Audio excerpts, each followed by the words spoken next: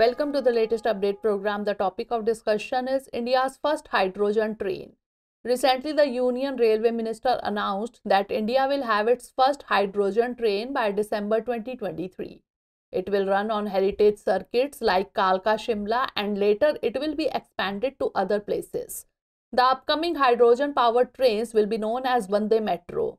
As the budget focuses on green growth, Railway will also contribute to the hydrogen train which will come by December 2023 and will be designed and manufactured in India.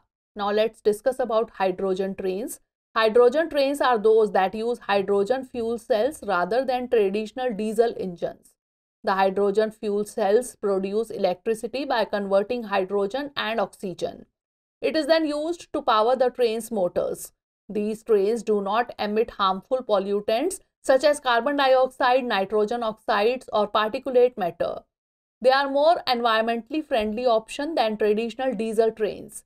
Significantly, hydrogen can be produced using renewable energy sources such as wind, solar or hydropower, making the fuel supply for these trains clean and renewable.